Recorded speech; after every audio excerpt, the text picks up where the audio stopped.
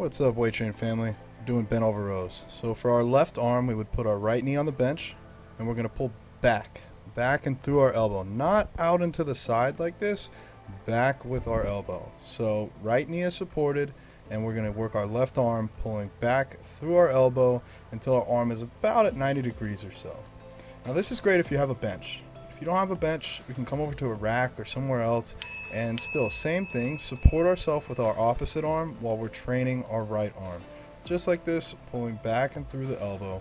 If you don't have a rack or anything, if you're at home and all you have is a dumbbell, you can do these standing too. Just take your left arm, jam that into your left knee, get a good base, and then we can still work our right arm. Obviously, all this would be the reverse if we were using our other arm. So basically support yourself with the side that's not working. And that's it. Please subscribe and check out our other videos.